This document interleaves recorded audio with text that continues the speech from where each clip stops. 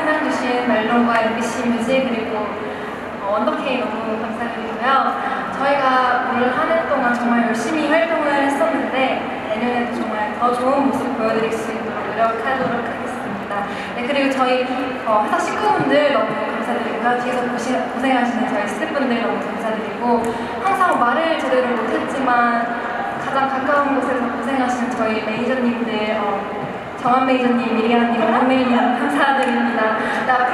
열심히 해서 좋은 모습 보여드리겠습니다. 버디